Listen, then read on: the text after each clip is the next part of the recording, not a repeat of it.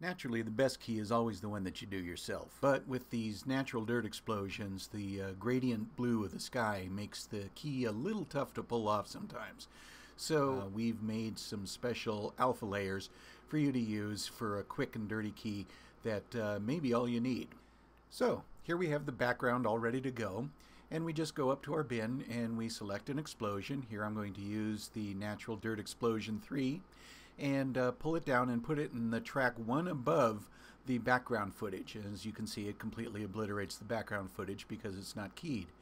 Then we go and get the alpha layer that corresponds to that, bring it down, put it underneath the explosion footage. Then we just right click on the explosion footage and from the composite mode choose Travel Matte Luma and bingo, it's all done.